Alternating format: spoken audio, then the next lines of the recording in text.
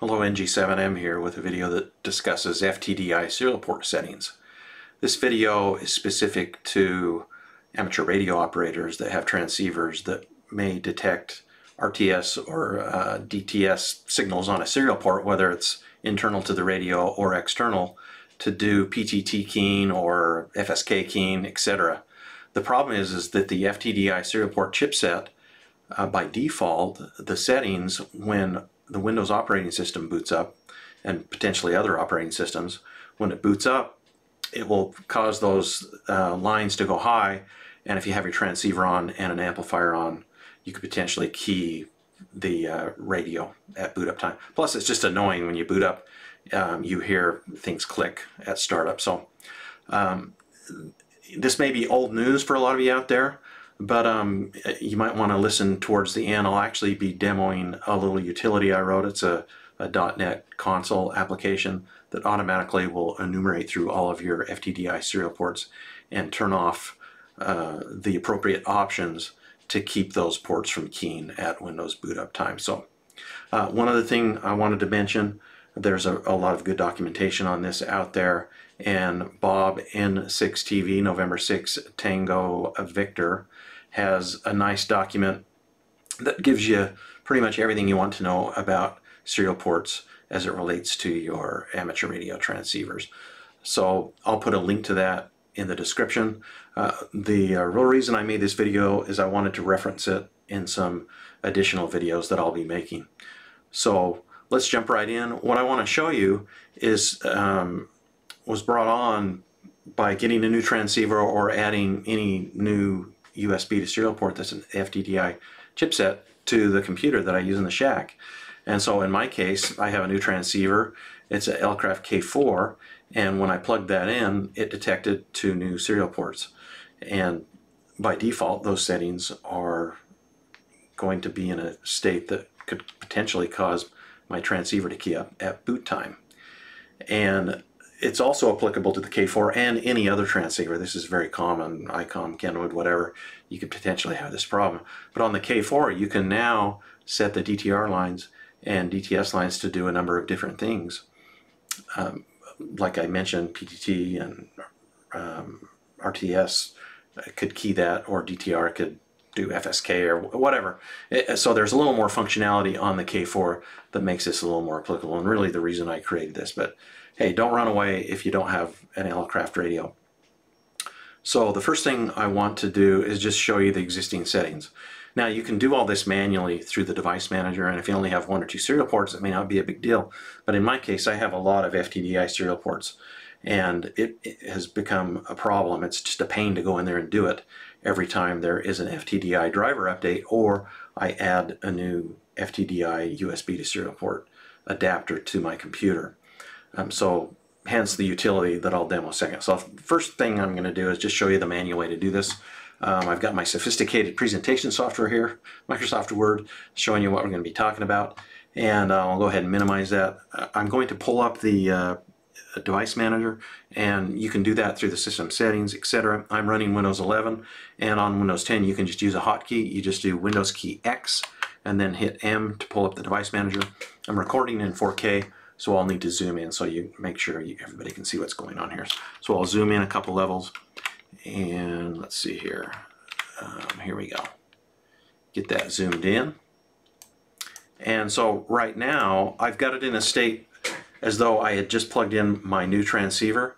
And I have a number of serial ports. As you can see, a couple of them are from an ICOM radio, and a couple of them are from uh, some other devices that I have. These are actually MORTTY devices using a, a uh, single board computer that has the knockoff CH340 chipset.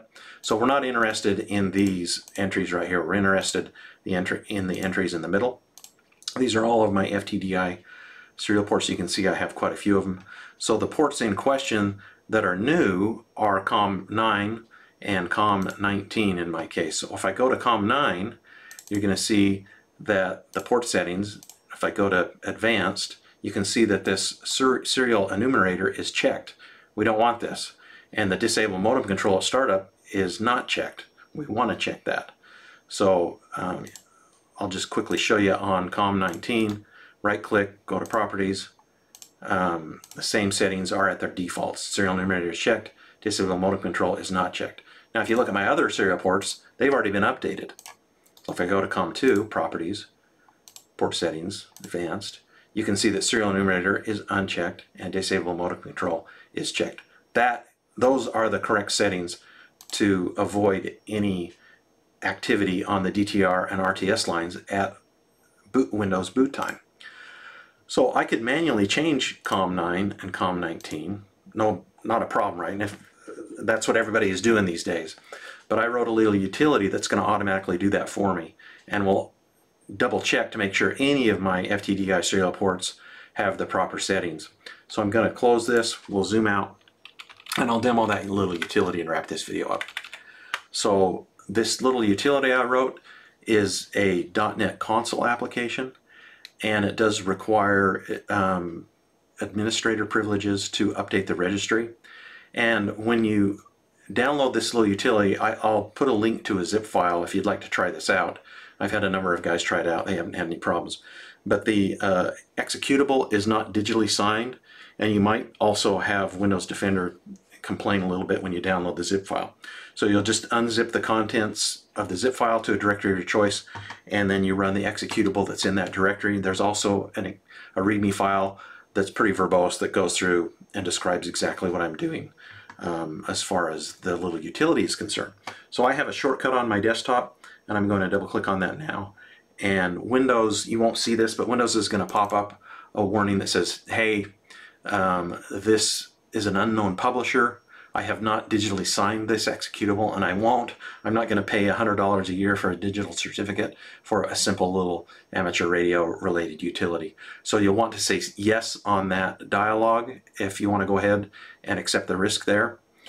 And it will pull up a Windows console and we can make this a little bigger if we want. And I'm going to zoom in again. And I give a little description of what's going on here. And so what will happen here is the code will enumerate through all of my FTDI serial ports and it will detect that COM19 and COM9 need to have uh, registry changes.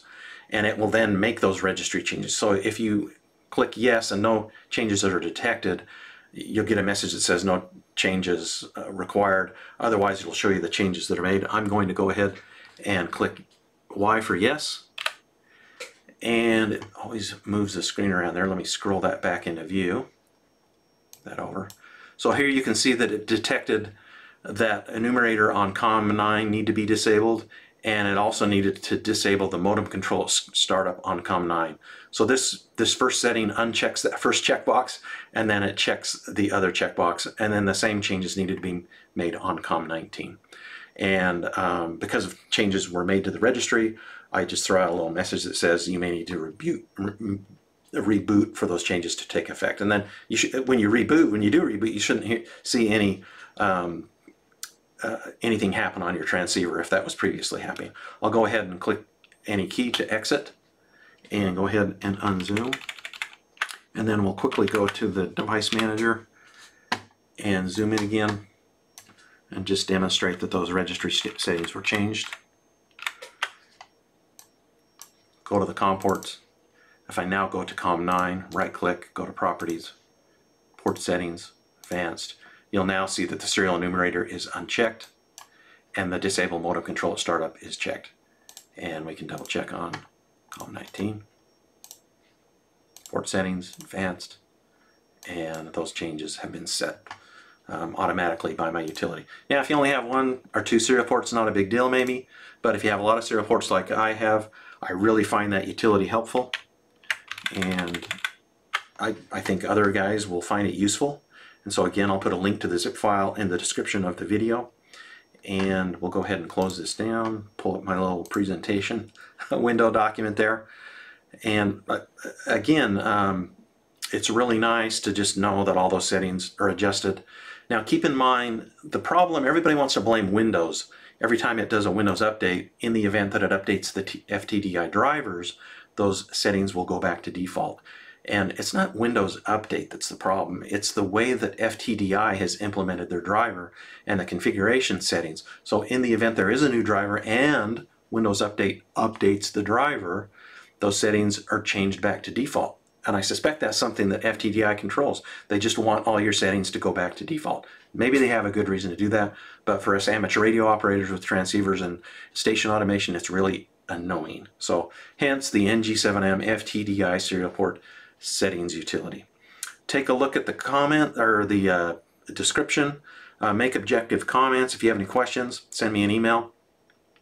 And uh, again, take a look at N6 TV, uh, Bob's link that I have in the description too, if you want to learn more about uh, serial ports as they relate to your amateur radio transceivers. A lot of excellent information there provided by Bob. Uh, thanks for watching. Give me the thumb up, uh, thumbs up if you liked the video, and subscribe to my channel if you want to get notified in the event I post uh, another video. Plus, it makes the YouTube search algorithm better if you subscribe and give me the thumbs up. 73, hope to hear you on the air doing some operating, and um, we'll see you next time. This is Max, NG7M.